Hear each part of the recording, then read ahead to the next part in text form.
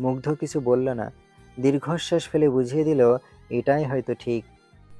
তুমি আমাকে একটুও ভালোবাসো না। কীভাবে ওই লাবিবার দিকে চেয়েছিলে তুমি দেখি দেখেছি?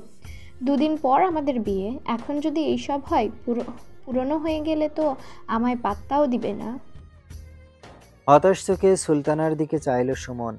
মেয়েটা আসলেই পাগলি। তার রাগ অভিমান ভাঙাতেই জীবন চলে যাবে সুমনের। সুলতানার রাগ ভাঙাতে একটা লেকের পাড় এসেছে দুজন। বাদাম খেতে খেতেই অভিযোগটা করল সুলতু।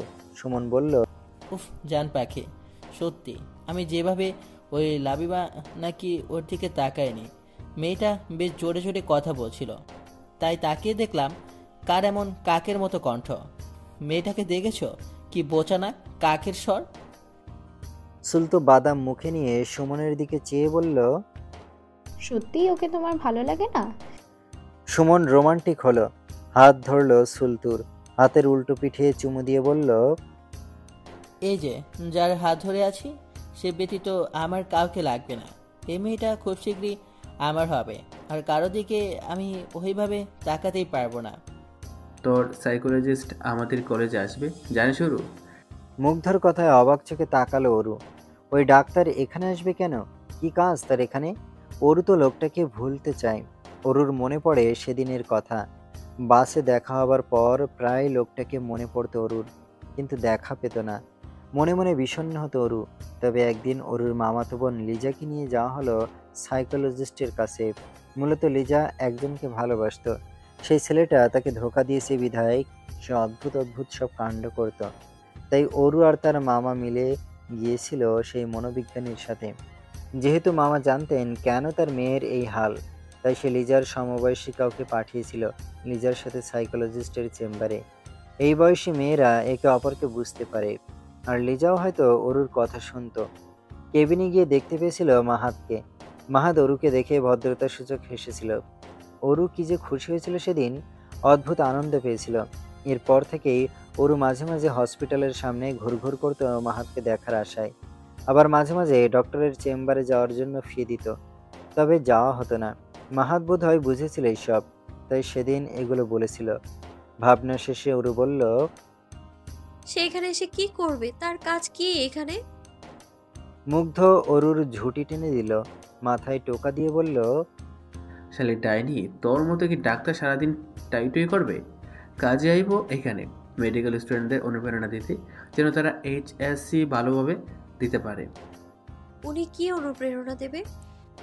আরে ভালো তোর ডাক্তার কম বয়সে ডাক্তার হয়েছে, আবার ভালো নাম ডাকা হয়েছে। উনারে এখানে স্পেশাল গেস্ট হিসেবে আনব, তোকে বিদায় অনুষ্ঠানে। তরুণদের অনুপ্রেরণা দেবে কীভাবে ডাক্তার হতে পরিশ্রম করতে হবে। যার তার লোকে টাঙ্কি মারতে যাও নয় মাম্মা, এই তো ডাক্তার, খুবই রিস্কি দুটো জোড়া শালিকের সাথে বসে আছে। মাঝে মাঝে কাছে এসে ফিসফিস করে কিছু বলছে বোধহয়। ফুলের ওপর প্রজাপতির বিচরণ, আকাশ আজ স্বচ্ছ, নির্জীব। তিথির দৃষ্টি এলোমেলো। বারবার আইমান স্যারের দিকে নজর যাচ্ছে তার। নিজের উপর নিজের বেশ রাগ হচ্ছে তিথির।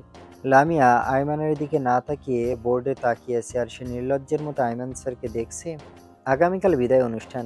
এইচএসসিদের বিদায় দেওয়ার জন্যই কাল এই আয়োজন। আজকে কোনো ক্লাস হবার কথা ছিল না, কিন্তু আইমান স্যার স্ট্রেট ফরওয়ার্ড আজকেও সে ক্লাস করাবেই। তিনি আইমানের থেকে চোখ সরিয়ে ফোন বের করল।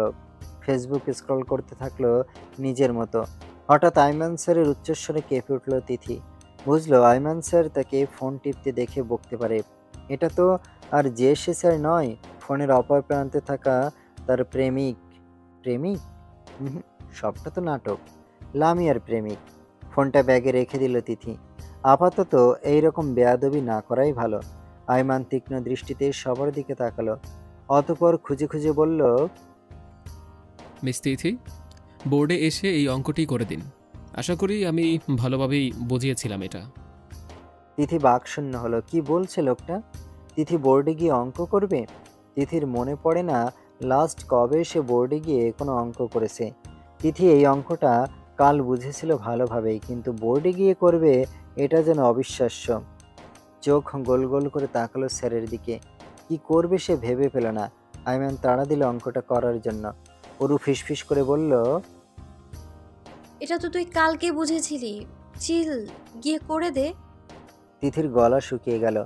টেনে টুনে কোনো রকম পাশ করে সে। ভালোভাবে ক্লাসটা অবধি করে না কখনো। শুধুমাত্র এই স্যার কোনো প্রকার নিয়ম নীতি ও বংশ মানে না বিধায় মনোযোগ দিয়ে মাঝে মাঝে ক্লাস করে তিথির। এখন তাকে সবাইকে অঙ্ক করে দেখাতে হবে? না পারলে লোকটা বোধহয় অপমান করবে তাই না? নার্ভাস হলো তিথি। ধীর পায়ে স্যারের থেকে মার্কার নিল। মার্কার পেনটা নিতেও কেমন হাত কাঁপলো তিথির। ব্যাপারটা বুঝতে পেরে মুসকে হাসলো আইমান। ফিসফিস করে বলল তোমায় এইভাবে নার্ভাসনেস মানায় না। Relax you can do it. কি জানি হলো তিথির। শিরা উপশিরায় তরল স্রোত বয়ে গেল। অদ্ভুতভাবে চাইল লোকটার দিকে। এইভাবে সে কেন সাহস যোগাচ্ছে তিথিকে? কি যেন ছিল আইমানের কণ্ঠে। তার ছাত্রী বলেই কি এমন সাহস দেয়া? তিথি কোনো রকমে হাত চালিয়ে অঙ্কটা করে চলে এলো। নিজের নির্দিষ্ট সিটে বসে বুকে হাত দিল সে। কেমন যেন ধুকবুক করছে তার বুক। অজানা ভয়ে তটস্থ হচ্ছে সব কিছু এলোমেলো লাগছে। আয়মানের দৃষ্টিতে কিছু ছিল।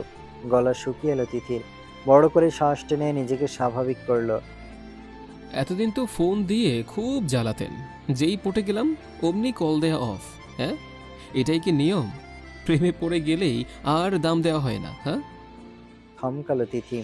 যেদিন আয়মান নিজে ফোন নিয়ে খোঁজ নিয়েছিল সেদিন থেকে তিথি কল দেয় না। আয়মান তো এখন লামিয়াকে ভালোই বাসে। তার আর কথা বলার কি দরকার? তবুও হেসে বলল কাল বিদায় অনুষ্ঠান তাই একটু ব্যস্ত। তবে আপনি সেকেন্ড ইয়ারের কাল তবে দেখা করছেন। আপনি কি চাইছেন? অনেক কিছুই। আপাতত দেখাই না হয় হোক। বেশ নীলপাড়ের সাদা শাড়িতেই থাকব। চিনে নেবেন। আমি আপনাকে চিনে নিতে পারব। এটা আমি ছাড়া কারও পক্ষে সম্ভব না। কারণ আমি আপনাকে উপলব্ধি করেছি। নারী কণ্ঠের প্রেমে পড়েছি। তিথি হাসলো। লামি আসলেই ভাগ্যবতী।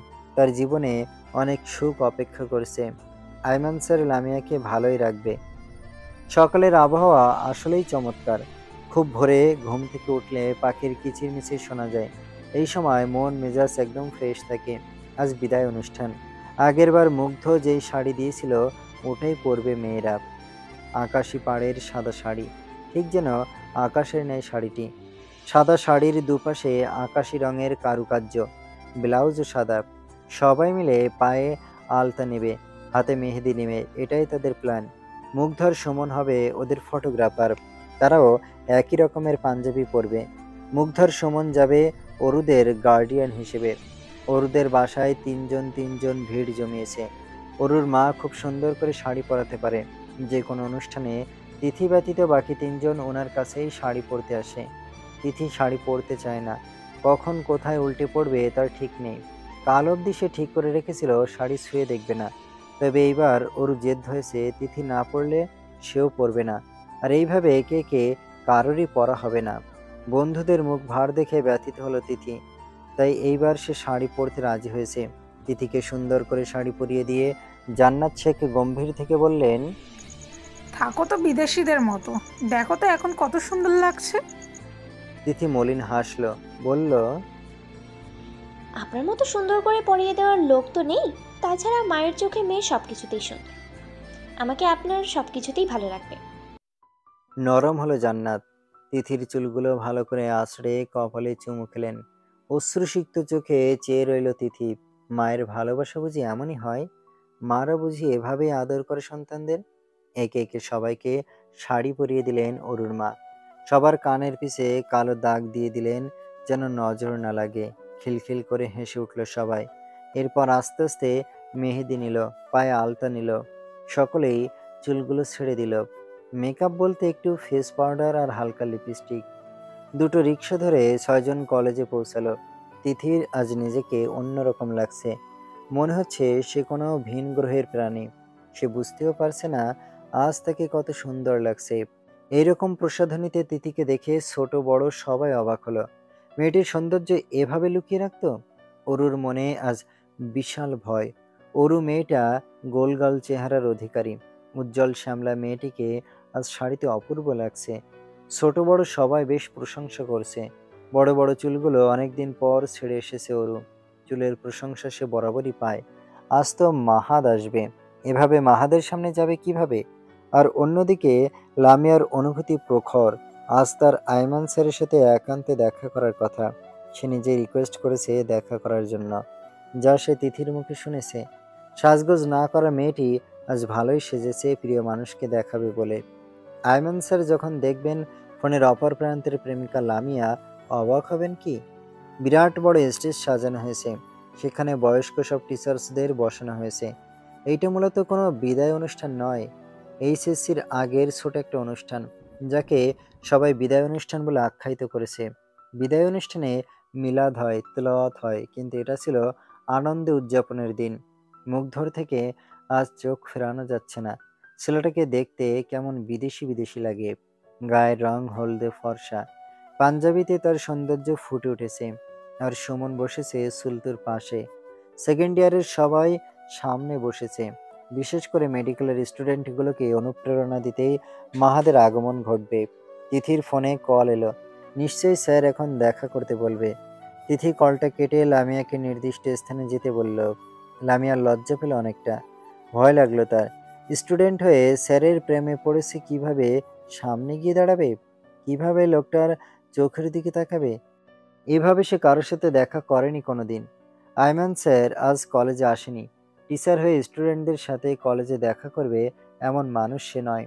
প্রেমের জায়গায় প্রফেশন টানবে না বিধায় আজ সে ছুটি নিয়েছে। আজ সে শুধুই প্রেমিক। কোনো স্যারটার নয়। মুগ্ধ দেখল লামিয়ার মুখের হাসি। নিমিষেই কষ্ট পেল তার হৃদয়। মেয়েটা তবে আজ পুরোপুরি নিজেকে অন্যের প্রেমিকা হিসেবে নিজেকে দাবি করবে। আয়মানকে উচ্চবিত্ত বলা চলে না, আবার মধ্যবিত্ত পরিবারের ছেলেও বলা যায় না। কলেজ আর টিউশনিতে যা আয় হয়, তাই দিয়ে পুরো পরিবারকে সামলায় আয়মান। তার আয় কম নয়, কিন্তু ব্যয়ও অনেক। চারজন মানুষের যাবতীয় দায় দায়িত্ব তার। নিজেকে বেশ সুখী মনে করে আইমান পরিবারের দায়িত্ব নেওয়ার পাশাপাশি অনেকটা টাকা জমাতে পারে সে। আপাতত সে বসে আছে একটা মাঝারি রেস্টুরেন্টের কর্নারে, অপেক্ষা করছে নির্দিষ্ট মানুষের জন্য। রাতে সে জেনেছিল কোন রং পরবে তার প্রেয়সী তাই তো সে একই রঙের পাঞ্জাবি কিনেছে। লামিয়া ভয়ে ভয়ে রেস্টুরেন্টে ঢুকলো। তার প্রথম ভয়, স্যার যদি তাকে পছন্দ না করে, যদি বলে সে আরও সুন্দরী মেয়ে আশা করেছিল তবে? প্রত্যেকটা মানুষই নিজেকে সুন্দর ভাবে না। লামিয়ার ক্ষেত্রেও তাই। সে ভাবছে হয়তো স্যারের থেকে পছন্দ হবে না। রেস্টুরেন্টের কর্নার টেবিলে কাঙ্ক্ষিত মানুষটিকে পেল লামিয়া। ধীরে ধীরে এগিয়ে গেল টেবিলের দিকে। ওখানে লাভ শেপের কেক রাখা, রজনীগন্ধা ফুলের তোড়া, সুন্দর করে সাজানো টেবিল। লামিয়াকে দেখে আইমান দাঁড়িয়ে পড়ল। অবাক হয়ে চেয়ে রইল লামিয়ার দিকে। লামিয়া মাথা নিচু করে দাঁড়িয়ে রইল লজ্জায়। আইমানকে এভাবে তাকাতে দেখে লামিয়ার লজ্জায় লাল হলো। তবুও মনে সাহস আনলো। এই মানুষটার সাথেই তো কাটাতে হবে জীবন। এত লজ্জা পেলে মনের জমানো অনুভূতি বলবে কি করে? শ্বাস ফেলে নিজেকে স্থির করল বলল বসতে বলবেন না? আইমানের ধ্যান ফিরল নিজেকে ঠিকঠাক করে লামিয়াকে বসতে বলল। লামিয়া শাড়িটা ধরে বসল সুন্দর চেয়ারটিতে। আয়মান ঘামতে থাকল লামিয়াকে সে এখানে কল্পনা করেনি। লামিয়াকে তো আগে দেখেছে সে কখনো অনুভূতি জন্মেনি তার জন্য। কল্পনায় যার ছবি আয়মান এঁকেছে সে তো লামিয়া নয়। কলের কণ্ঠ আর এখানকার কণ্ঠের মধ্যে বিশাল ফারাক।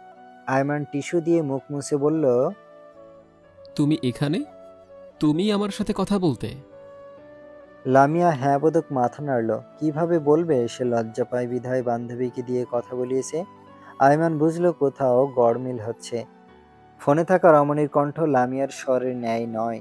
আয়মান আবার তীক্ষ্ণ দৃষ্টিতে তাকিয়ে বলল ফোনের অপর প্রান্তের রমণীটি তুমি নও লামিয়া। আমায় তুমি বোকা বানাচ্ছ। আইমানের কথা শুনে নিচু মুখ উঁচু করল লামিয়া। এখন যদি লামিয়া বলে, সে তার অনুভূতি প্রকাশ করতে পারে না। অপরিচিতদের সাথে কথা বলতে জড়তা হয় বিধায় বান্ধবীকে দিয়ে কথা বলিয়েছে, আইমান তাকে অপমান করবে না তো? ভীতিগ্রস্ত হয়ে চোখ নামিয়ে নিল তিথি। আইমান আবারও একই প্রশ্ন করল। লামিয়া অশ্রু সজল চোখে বলল আমার অনুভূতি আমি প্রকাশ করতে পারি না। অপরিচিতদের সাথে হঠাৎ কথা বলতে জড়তা অনুভব হয়। তাই আমার বন্ধুকে দিয়ে আপনার সাথে কথা বলিয়েছি যদিও সে যা বলেছে সব আমার কথা একটাও নিজের কথা না। তোমার সেই বন্ধুটাই কি তিথি? হ্যাঁ। এতদিন তার সাথেই আমি কথা বলেছি তাই না? জি। আমি যাকে ভালোবাসি সে তুমি নও লামিয়া। লামিয়ার চোখ টলমল করে উঠল কাকে ভালোবাসে আইমান? ভালো যদি অন্যকেই বাসে, তবে তিথির সাথে এতদিন কথা বলেছে কেন? আয়মান বলল, দেখো রাবিয়া প্রথম দেখায় কোনোদিন ভালোবাসা হয় না। যা হয় তা হলো প্রেমে পড়া। প্রথম দেখায় কাউকে ভালোবেসে ফেলা মানে হচ্ছে তার সৌন্দর্যের প্রেমে পড়া।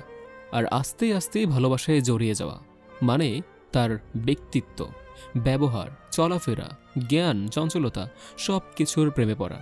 তুমি আমায় চিনতে আমার প্রতি অনেক অনুভূতি জন্মেছিল তোমার।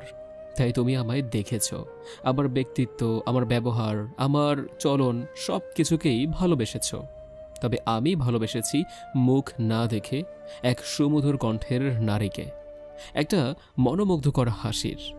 এটা কোনো সিনেমা নয়, নাটকও নয়, যে ফোনের কণ্ঠ আর সামনাসামনি কণ্ঠ গুলিয়ে ফেলব। এত কাছে থেকেও চিনতে পারব না দুটো আলাদা সত্তাকে। সেদিন তিথির কণ্ঠ শুনে মনে হয়েছিল দুটো একই কণ্ঠ। তবে মেধাবী পরিবার নেই নরম কণ্ঠ এগুলো আমার মাথায় ঘুরপাক খাচ্ছিল কারণ তিথি এর চেয়ে ভিন্ন। বুঝেছিলাম কোনো একটা ভুল হচ্ছে। লামিয়ার চোখ থেকে পানি গড়ানোর পূর্বেই তা মুছে ফেলল লামিয়া বলল এর মানে? নির্বাক হলো লামিয়া মলিন হেসে আঁচল ধরে চলে গেল সেখান থেকে। আইমান বুঝলো লামিয়ার কষ্ট। মেয়েটার জন্য প্রার্থনা করল। আচ্ছা লামিয়ার ভাষ্যমতে তিথি যা বলেছে, সব লামিয়ার শেখানো। তার মানে আয়মানের প্রতি কোনো অনুভূতি নেই তিথির? এখন কি করবে সে? তিথি তো প্রেম ট্রেম নিয়ে ভাবেই না। হতাশ চোখে চেয়ে রইল বাইরে। কলেজের বিরাট গেট দিয়ে প্রবেশ করল মাহাত। ব্ল্যাক টি শার্ট আর ব্ল্যাক প্যান্টের সাথে হাতে সাদা রঙের ডক্টর ইউনিফর্ম। ইন করা কালো শার্টটায় বেশ মানিয়েছে মাহাতকে। কি অপূর্ব অভিব্যক্তি লোকটার। অরু হা করে তাকিয়ে রইল কিছুক্ষণ। সামনে অরু মুগ্ধ তিথিকে দেখে দাঁড়াল মাহাত। অরুকে দেখে চোখ দুটো আপনি আপনি নিবদ্ধ হলো অরু মেয়েটাতে। গোল গোল চেহারার বাচ্চা মেয়েটিকে বেশ বড় লাগছে শাড়িতে।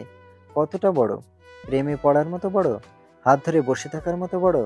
মাহাতকে এগিয়ে আসতে দেখে তিথি বলল, এই মুগ্ধ, পাগলামির অভিনয় কর মামা। বেটা যদি একবার বুঝতে পারে তুই পাগল না তাই ওরও শেষ। ততক্ষণে মাহাত সামনে এলো। তিথি মুগ্ধর উদ্দেশ্যে বলল তোর লাগে আমি ঘোড়ার ডিম কই পাবো? মুগ্ধ বুঝলো নাটক ছাড়া আর কোনো উপায় নেই।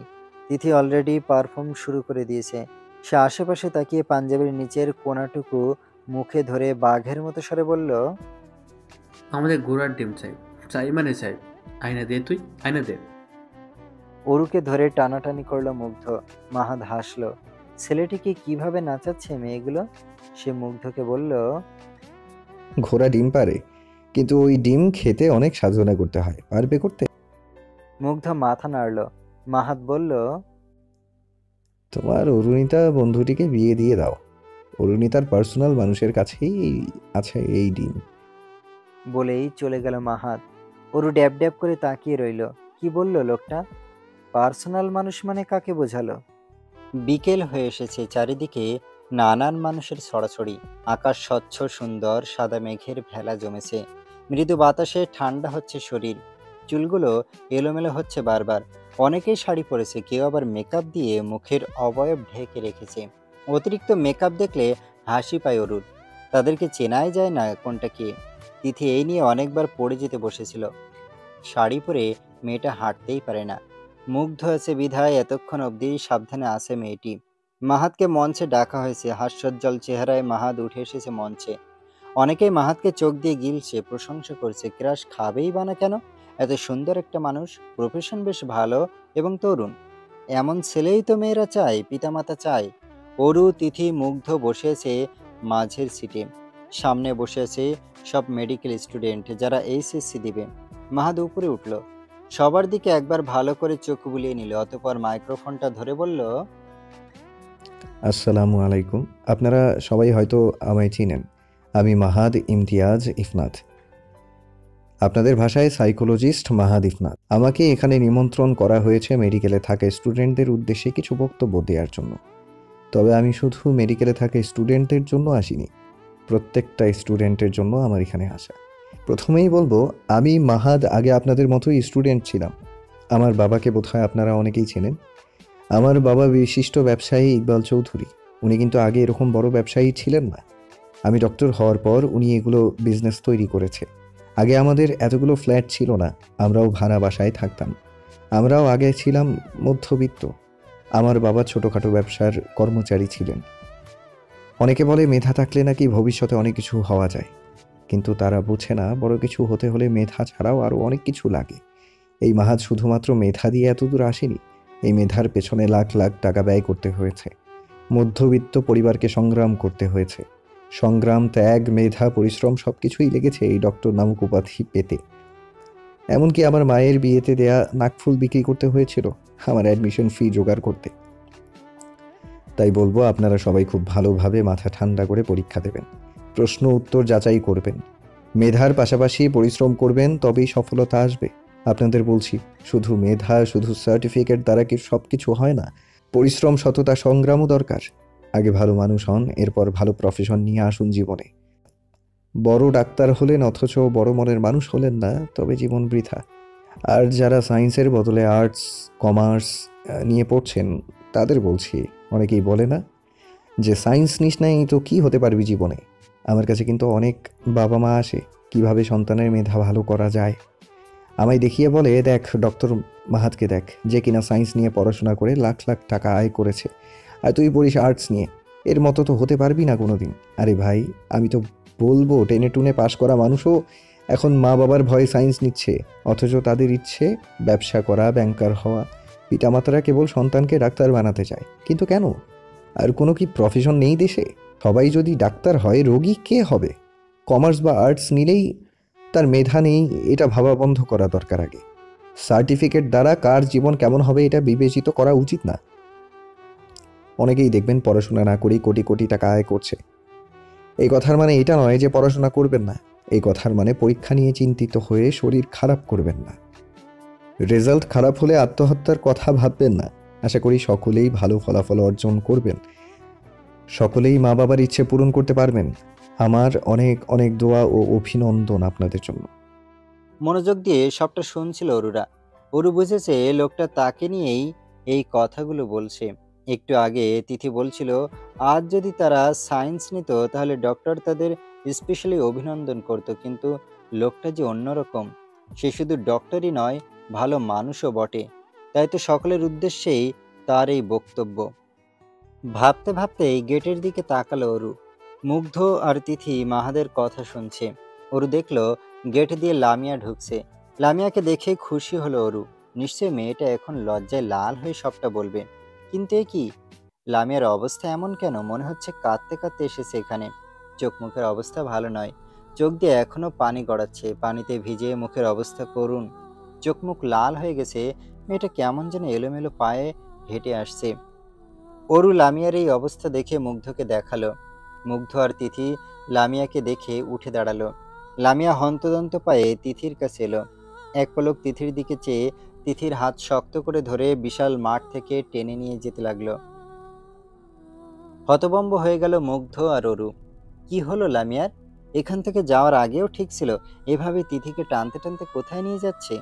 তিথি আর লামিয়ার পিছনে ছুটল দুজনে। তিথির অবস্থা বেগতিক। এমনিতেই সে শাড়ি পরে দাঁড়াতে পারে না।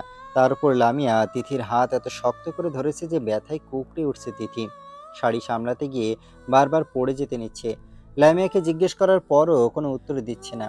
হাই হিল পা কেটে যাচ্ছে। সেদিকে খেয়াল নেই লামিয়ার।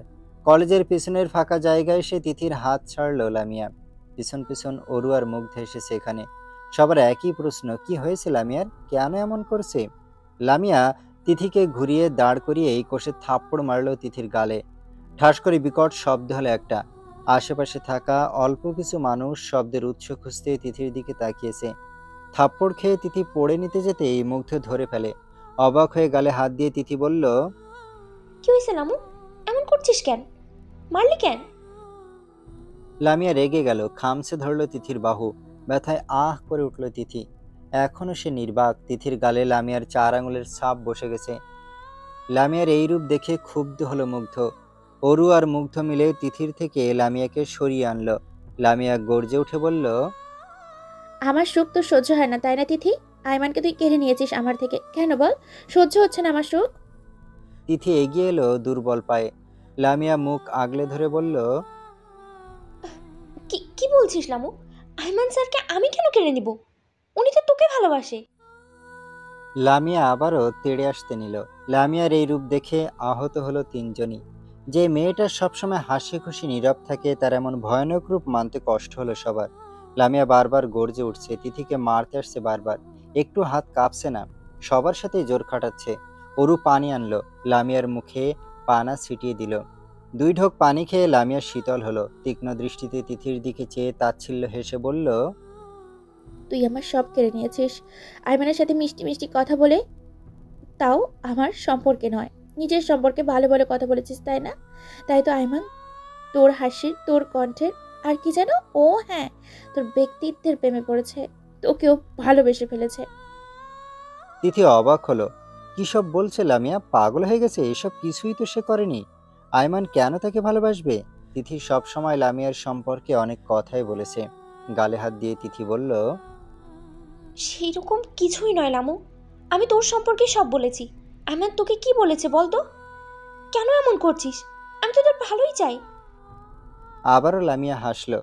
জোরে শব্দ করে হেসে আবার রেগে গেল। বলল এই যে ব্যক্তিত্ব কণ্ঠ এগুলো তো বাহানা। আসলে তোর টাকা কাছে বলেই তুই আইমানকে পাবি। আমি গরিব বলে আমার ভালোবাসার অধিকার নেই। যার টাকা আছে তার সব আছে। কাঁদতে লাগল লামিয়া। অরুও কাঁদতে লাগল, কিন্তু শব্দ হলো না। অরু হৃদয় কেঁপে কেঁপে উঠছে, বন্ধু মহলের সবার আজ একই দশা। অরু পাচ্ছে না তার ডক্টরকে। মুগ্ধ একটু হলে লামিয়াকে হারাতো। সেই লামিয়াও আইমান স্যারকে না পেয়ে নিঃস্ব হয়ে গেছে। অরু বলল, দেখ লামিয়া তুই তো অমর নয়। তোর কোথাও ভুল হচ্ছে। ও কেমন তা তো তুই জানিস। তোর প্রেমিককে কেড়ে নিবে এমন মেয়ে ও নয়। লামিয়া বুঝল না, শুনল না কিছু। অরু অশ্রু সজল চোখে মুগ্ধর দিকে তাকালো। মুগ্ধ ছেলেটা আসলে বয়সে বড় হলেও ম্যাচিওর নয়। সবার সামনেই কীভাবে নাক টানছে, আর একটু পর পর পাঞ্জাবির হাতা দিয়ে চোখের পানি মুছছে। এই বয়সে এসব ওকে মানায়? অরু নিজেকে সান্ত্বনা দিবে নাকি ওকে? নাকি এই দুজনকে? লামিয়ার শরীর এত কেঁদেও দুর্বল হয়নি। মেয়েটা অনেক ঘানি টানতে পারে। এত কিছুর পরেও তার মাঝে ক্লান্তি নেই। লামিয়া উঠে দাঁড়াল। তীক্ষ্ণ দৃষ্টিতে তিথির দিকে তাকিয়ে চলে যেতে নিল। সন্ধে হয়ে গেছে এরপরও ছুটির দিনে মেসে না ঢুকলে মালিক বকবে। অরু লামিয়াকে আটকালো। লামিয়া শুনল না বারণ। তেজ দেখিয়ে বলল তোরা কেউ আমার বন্ধু না তোরা শুধু ওর দিকটাই দেখলি। আমাকে বুঝলি না? অন্তদন্ত পায়ে চলে গেল লামিয়া। তিথি এতক্ষণ ছিল নির্বাক শ্রোতা। কি হলো কেন হলো কারোরই বোধগম্য হচ্ছে না। গালে হাত দিয়ে এতক্ষণ লামিয়ার অবস্থা দেখছিল তিথি। তিথির অবস্থা ভালো নয়। গালটা কেমন ফুলে গেছে। পিঠ অবধি চুলগুলো এলোমেলো হয়ে ছড়িয়ে গেছে। এতক্ষণ বিদেশির মতো রমণীটি এখন দুর্বল, ক্লান্ত। তিথির ভালো লাগল না কিছুই। বন্ধুরে এমন আচরণ মানতে পারল না। বুকটা কাঁদছে তার, চিৎকার করতে ইচ্ছে করছে খুব, কিন্তু তিথি কাঁদল না। কিছুক্ষণ চুপ থেকে তিথি বলল, আমায় এখান থেকে নিয়ে চল মতো আমি হাঁটতে পারছি না। শরীরটা দুর্বল লাগছে। ক্লান্তিতে দুই চোখ বয়ে যাচ্ছে। আমার বুকে সব খুব কষ্ট হচ্ছে। যন্ত্রণায় শ্বাসনালী আটকে আসছে বারবার। আমায় একটু নিয়ে চল প্লিজ। মুগ্ধ অরুর দিকে তাকালো। অরু বলল চিন্তা করিস না। সুমন ভাইকে ডেকে আমি চলে যাব। তোরা চলে যা। আমার কষ্ট হচ্ছে না। মুগ্ধ বুঝলো সবটাই। সুমনের দায়িত্বে অরুকে রেখে গেল। পাঞ্জাবির হাতা গুটিয়ে তিথির হাত ধরল। আস্তে আস্তে তাকে নিয়ে অরুর চোখের আড়াল হলো। নগ্ন পায়ে রাস্তার ফুটপাত দিয়ে হেঁটে যাচ্ছে অরু। আজকের দিনটা কত স্পেশাল ছিল সবার কাছে। কত শত প্ল্যানিং ছিল বন্ধুদের। কিছুই হলো না। উল্টো সবটা লণ্ডভণ্ড হয়ে গেল। আচ্ছা এরপর কি তিথি আর লামিয়ার সম্পর্ক ঠিক হবে? মুগ্ধ কি আদৌ লামিয়াকে পাবে? তিথি কি আজকের এই অপমান ভুলে যাবে? তাদের বন্ধুত্ব কি আদৌ ঠিক হবে, নাকি ভেঙে যাবে সব? বন্ধুত্বে কি বিচ্ছেদ ঘটবে? সবাই বলে, প্রেমিক প্রেমিকার মাঝে বিচ্ছেদ হলে সবচেয়ে বেশি কষ্ট হয়। কই? বন্ধুদের বিচ্ছেদ তো বিশাল যন্ত্রণা দিচ্ছে ওরুকে এই রে, রাস্তায় হাত পা ছড়িয়ে কাঁদতে ইচ্ছে করছে। আকাশকে কত শত অভিযোগ জানাতে ইচ্ছে করছে। হৃদয় ভেঙে সারকার হচ্ছে, এই খবর কেউ রাখে? অরু সুমনকে ডাকেনি। আজ একাই যেতে ইচ্ছে করল। ব্যাগে হাত দিয়ে দেখল যাওয়ার মতো ভাড়া নেই। সকলে একসাথে ভাড়া দেয়। তাই টাকা তেমন আনেনি অরু। তাই সিদ্ধান্ত নিল হেঁটেই যাবে। কাউকে বিরক্ত করবে না। মাহাদাজ অনেকক্ষণ কলেজে বক্তব্য দিয়েছে। এ কলেজের প্রধান শিক্ষক নিজে মাহাতকে সম্মাননা দিয়েছেন। মাহাদাজ খুব খুশি। নিজের প্রফেশনটা সে ভালোভাবেই রপ্ত করতে পারছে এই ভেবে। জাহাঙ্গীরনগর বিশ্ববিদ্যালয় থেকে বেরিয়ে প্রাইভেট কারে উঠে বাসায় ফিরছিল মাহাত। সামনে কাঙ্ক্ষিত এক রমণীকে দেখে গাড়িটি থামালো। এটা অরুণা? হ্যাঁ এটা তো অরুই। একা একা কোথায় যাচ্ছে এভাবে? বাকি সবাই কোথায়? প্রশ্ন জাগলো মাহাদের মনে। গাড়িটি তৎক্ষণাৎ থামালো মাহাত। সিট বেল্ট খুলে শীঘ্রই বেরিয়ে এসে অরুর সামনে দাঁড়াল। মেয়েটির রূপ দেখে অবাক হলো মাহাত। কি অবস্থা এই মেয়ের? কিছুক্ষণ আগেই তো কত প্রফুল্ল দেখাচ্ছিল, আর এখন মুখটা মলিন। শরীর দুর্বল। মাহাতকে দেখে থেমে গেল অরু। অতপর পাশ কাটিয়ে চলে যেতে নিতেই মাহাত সামনে এসে দাঁড়াল। বলল, কি হয়েছে অরুণিতা? এইভাবে কোথায় যাচ্ছ? বাকি সবাই কোথায়? তোমায় এত বিধ্বস্ত দেখাচ্ছে কেন? Are you okay